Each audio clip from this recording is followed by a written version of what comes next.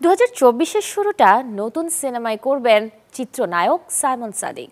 এদিকে সিনেমা নয়, দ্বাদশ জাতীয় সংসদ নির্বাচনে প্রতীক বরাদ্দের খবরে শিরোনামে আছেন চিত্রনায়িকা মাহিয়া মাহি। অন্যদিকে চমক পুঁথি যখন হাজির হয়েছেন নির্বাচনী প্রচারণার গান নিয়ে, তখন কর্নিয়া রোমান্টিক গানে সুর মিলিয়েছেন। দর্শক, জানাব দেশ বিদেশের তারকাদের আপডেট কিছু খবর। নতুন বছরে নতুন সিনেমা নিয়ে আসছেন চিত্রনায়ক সাইমন সাদিক। দু সালের ১৯ জানুয়ারি মুক্তি পাবে তার সিনেমা শেষ বাজি। মহান বিজয় দিবস উপলক্ষে অনলাইনে প্রকাশ পেয়েছে সিনেমাটির ফার্স্ট লুক পোস্টার, আর এতেই বেশ সাড়া ফেলেছেন ঢাকায় ছবির এই নায়ক। ট্রাক প্রতীকে আসন্ন দ্বাদশ জাতীয় সংসদ নির্বাচনে রাজশাহী এক আসনে লড়বেন চিত্রনায়িকা মাহিয়া মাহি।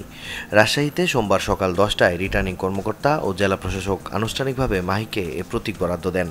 আবার ইলেকশনে জনে যায়, নৌকায় দেব ভোট। প্রার্থী আমার আপন মানুষ পড়া মজিদ কোট। নির্বাচনী প্রচারণায় এবার নতুন চমক পুঁথি গান জুলফিকার রাসেলের কথায়, আমরা আছি মাঠে, শিরোনামে এ পুঁথি গানটির সংগীত পরিচালনা করেছেন ইমন চৌধুরী।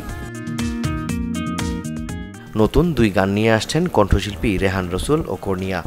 রোমান্টিক ধাঁচের দ্বৈত কণ্ঠের এই নতুন দুই গানের কথা লিখেছেন এনআই বুলবুল। গান দুটির একটি রোহান রাজের সুর ও সঙ্গীতে উরিচল এবং রেজওয়ান শেখের সুর ও সঙ্গীতে কিছু গল্প জমা হোক। জানা গেছে, বছরের শেষ দিকে প্রকাশিত হবে গান দুটি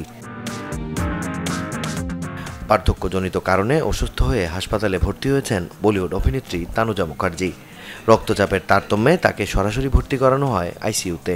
ষাটের দশকের এই অভিনেত্রী বলিউডের কাজল দেবগণের মা। শুটিং করতে গিয়ে আঘাত পেয়েছেন বলিউডের জনপ্রিয় অভিনেতা বরুণ ধাওয়ান। দক্ষিণী পরিচালক এটলি কুমারের নতুন সিনেমার শুটিং সেটে একটি লোহার রডে আঘাত পেয়েছেন তিনি। বরুণ তার নিজের ভেরিফাইড ইনস্টাগ্রাম স্টোরিতে জানিয়েছেন, পায়ে আঘাত পাওয়ার কথা।